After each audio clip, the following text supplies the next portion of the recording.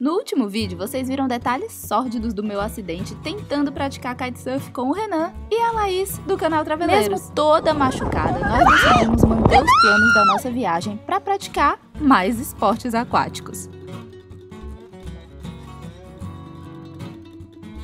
Aloha! Bom dia! Hoje com uma ventania deliciosa aqui na Lagoa do Cauípe, no Cumbuco. E hoje tem vento, tem bastante vento.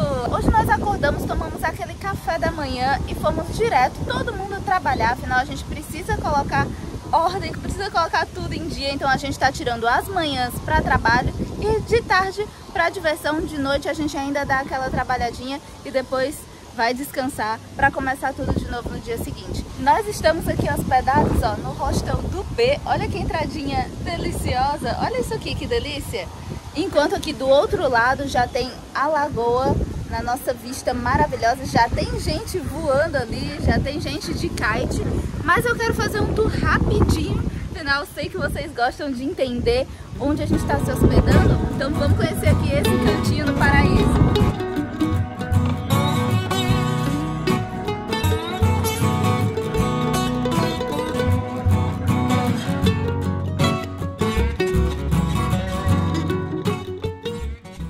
Lá então ver como é que tá o pessoal, se tá pronto pro almoço, porque já tá na nossa hora de almoçar. E aí, Michel, encerrou o trabalho por enquanto? Pronto para comer. Esse daqui é o nosso quarto, olha que gostoso. O ambiente super ventilado. Tem uma janelinha aqui, olha, entre... Olha a janelinha aqui. e aqui eu já estava com o meu set montado, mas agora encerrou. Todo mundo pronto para almoçar e cair na água depois. Simbora! Aqui nesse cantinho tem o quarto dos traveleiros. Eles têm mais outros quartos aqui. E aqui esse varalzinho com as roupas de todo mundo. Mas esse daqui é o meu guerreiro, ó. Esse daqui é o wetsuit que eu tenho desde o primeiro barco, o Motion Mi 1. E era com ele que eu mergulhava para tirar as cracas do fundo do barco e não importa sério, principalmente no inverno, né, que ele dava aquela proteção, porque eu sou muito friorenta, sinto muito frio, e eu achei até que aqui usar ele ia fazer calor, mas tem tanto vento que não faz calor não, eu tô adorando usar ele, na verdade, sem ele eu fico com friozinho. Então veio a calhar, esse daqui é um wetsuit relativamente fino, então ele me dá uma mobilidade aceitável para fazer esporte e protege também os meus machucados, que eu tô toda machucada no joelho, enfim, olha só. Tô toda roxa já também das práticas dos últimos dias, ó, que abriu um roxão que abriu hoje essa história aí, começou hoje. Mas hoje, quem sabe a gente voa. O objetivo dessa viagem, quem sabe a gente consegue levantar a prancha da água. Não digo um super voo de muitos minutos, mas pelo menos um voozinho pequenininho. Eu acho que poderia, hein? E aqui a gente almoça com o pessoal voando cima da nossa cabeça, céu colorido, fazendo acrobacia, é incrível. É, isso é um pouco difícil, né? Porque a gente não tá aqui só para praticar esporte. A gente se organizou nessa viagem para de manhã a gente trabalha, ao meio-dia a gente almoça e depois é que a gente vai praticar o wingfoil.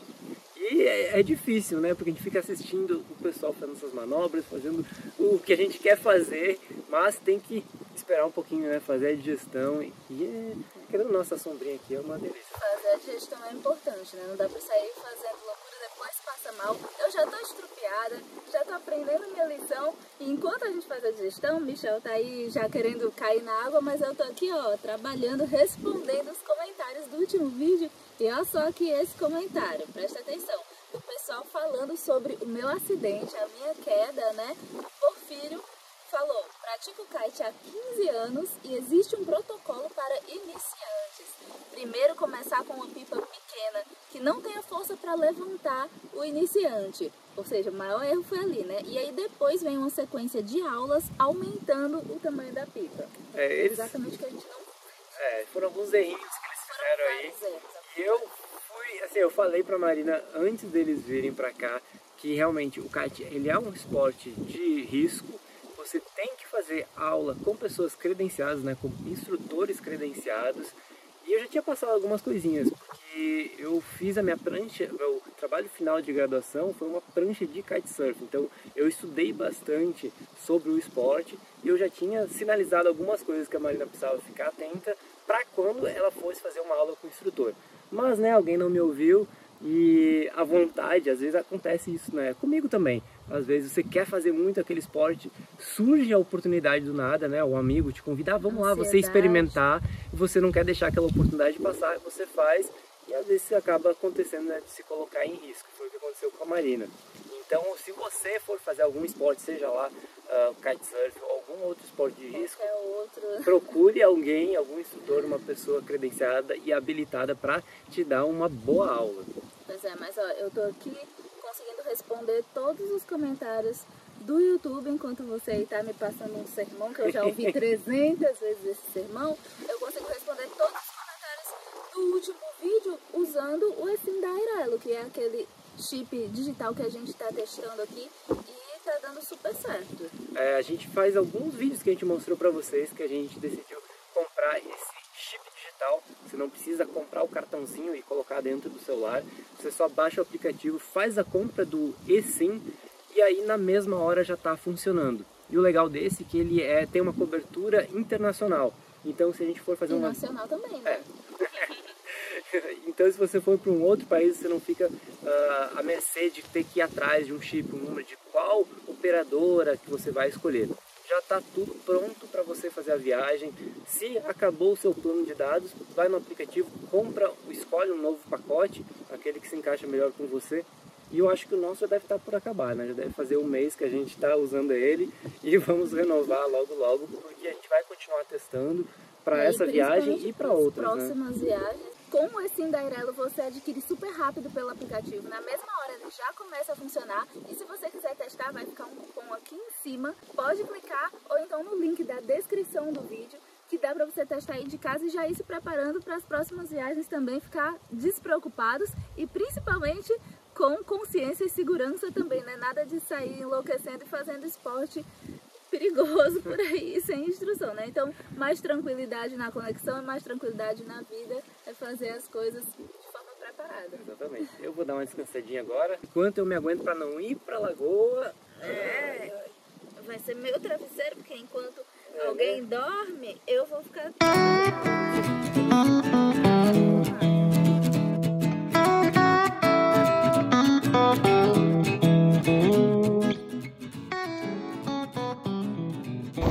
das coisas que eu mais gostei sobre esse lugar é que aqui um espetáculo é um espetáculo constante, não para. De um lado, olha, tudo colorido na grama, aí você vira pra água. Tá tudo colorido no céu também. Isso que hoje, acho que ontem tava até mais lotado do que hoje. Lá vai o Michel aqui entrando para o exercício dele de hoje. E é um espetáculo porque tem pessoas muito, muito, muito boas praticando. E mesmo que você nem pratique, só de você assistir, por exemplo, agora, enquanto eu fico esperando o Michel cumprir ali a missão dele, eu fico aqui fora, mas eu fico admirando, porque é lindo. O que as pessoas fazem é lindo. Tem gente que voa, que faz umas acrobacias. São verdadeiros atletas, é muito inspirador e é lindo de assistir. Então você nem precisa saber praticar nada para vir aqui nesse lugar, que o próprio lugar já é um paraíso, e poder admirar a tamanha destreza das outras pessoas, porque, meu Deus, é muita aptidão, viu? Vem viver com Michel a sensação de voar pela primeira vez?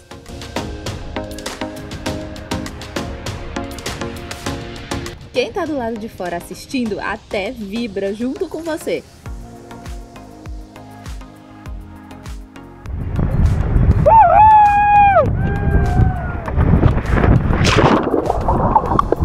Mas enquanto Michel seu primeiro voo, pra mim maior dificuldade ainda era subir na prancha com todos esses ferimentos. Apoiar o joelho é essencial nessa hora. E acredite, nesse momento eu estava sentindo muita dor. Mas depois que você já está de pé, a coisa anda mais fácil.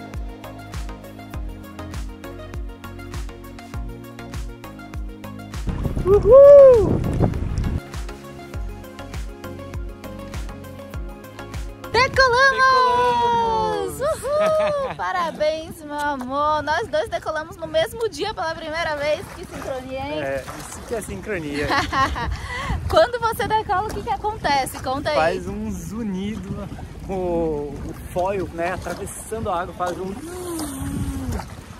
Pena que foi bem curtinho as nossas voadas, né? Ah, o Michel conseguiu decolar várias vezes. Eu consegui uma só, mas eu identifiquei que eu tinha conseguido justamente pelo barulho, porque o Michel conseguiu primeiro e ele falou: Nossa, quando você decola, o barulho faz. Zzz. E aí eu tava andando de repente zzz, e eu, meu Deus, pá, caí no chão. Foi por um segundinho assim que eu decolei. O Michel já conseguiu hoje mais vezes também, né? E por vamos... algumas vezes, principalmente no, no início, que tava com mais vento. Agora acabou quase o vento. A asa até que ainda tá voando um pouquinho, mas não o suficiente para conseguir. O decolar. vento tá bem fraquinho, tanto é que todo mundo saiu da lagoa. A lagoa esvaziou, tava cheinha. Total. Esvaziou porque o vento acabou. Mas amanhã a gente vai tentar vir mais cedo para aproveitar mais. Uma pena que não deu pra gravar o momento que nenhum dos dois decolou. Tanto eu não consegui gravar o Michel decolando, como ele não conseguiu me gravar. Ah, mas hoje deu pra pegar o meu, né? Deu pra pegar você caindo não, da decolagem. Deu assim, ó, um, um pouquinho e é. a Marina pegou o finalzinho.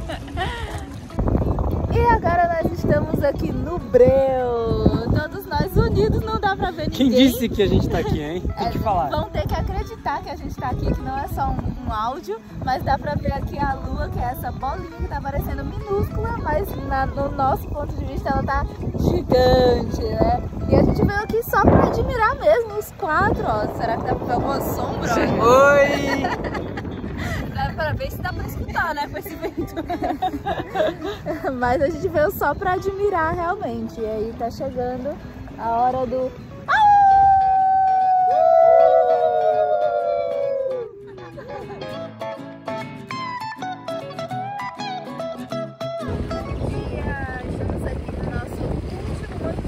conseguiu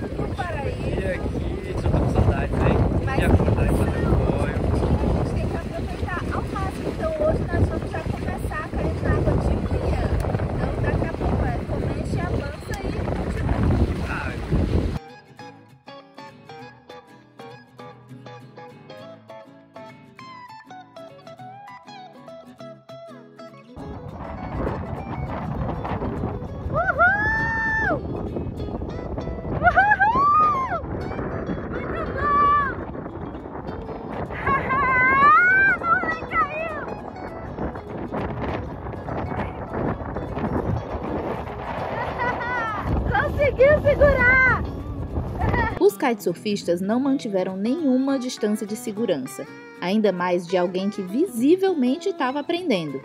É claro que eles não sabiam que por baixo do wetsuit eu sentia muita dor cada vez que um deles me desequilibrava, fazia cair e pior ainda é ter que subir novamente na prancha.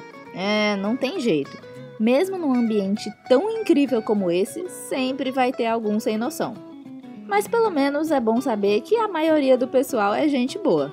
Mas foi aí que o mais incrível aconteceu. O Michel atravessou a lagoa mantendo o foio.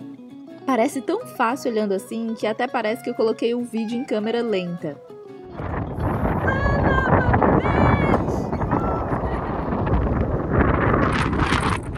Maravilha! Meu Deus, não desce mais! Dominou! Fez a curva!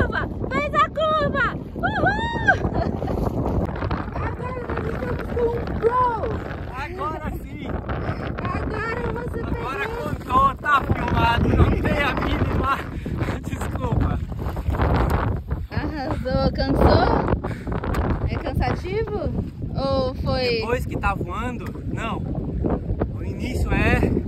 E agora no início, que você tá pensando em 10 mil coisas ao mesmo tempo, o corpo exercitando músculos que não estão acostumados, então cansa um pouquinho. Principalmente agora, o que cansou mais foi essa nadadinha dali até aqui. Maravilha, olha, Bom, quase conseguiu fazer a curva 100%. Eu achei quase. que você ia dar meia volta e já sair pelo outro lado. Fiquei um pouco de receio de fazer. Mas é isso aí, já evoluiu muito hoje, parabéns!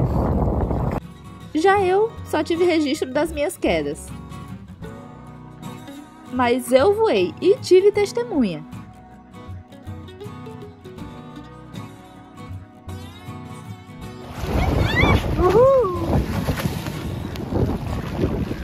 A Marina voou! Agora contou, hein? Agora contou. Agora contou, agora eu já tava contando das outras vezes, mas você quer diminuir os Não, não, não. Foi que nem o meu, só contou quando tirou uma boa parcela, parcela do folho da água e ficou um tempo. Então eu já tava contando o seu de antes, eu já tá falei, bom, tá bom. ó, é decolar, tá bom, é, eu tava decolando, agora eu tô voando um pouquinho. Agora tá voando. Consegui manter ali, eu tenho o Renan de prova, porque apesar da câmera não conseguir gravar pra pegar, o Renan veio de kite no- junto comigo tão perto e eu não sabia que era ele. Quase que eu gritei, sai que eu tô aprendendo, eu vou cair. Aí quando eu vi mais de frente, ele foi andando os dois, ó, um do ladinho do outro, e ele viu que eu decolei e consegui manter. Aí eu caí, depois ele voltou e falou, foi, eu fui.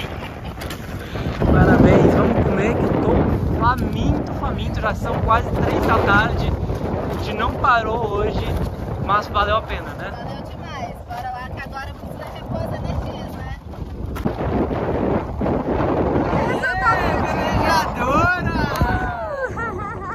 Renan não tinha lhe reconhecido. Eu achei que era outra pessoa. Sério?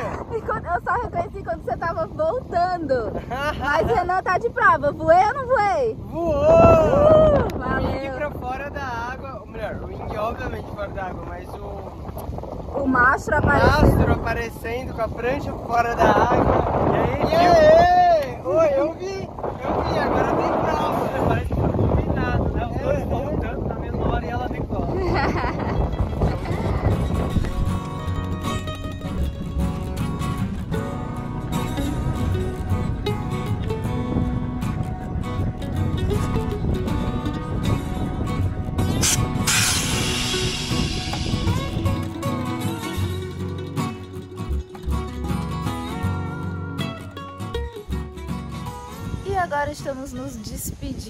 Já de noitinha na nossa estadia.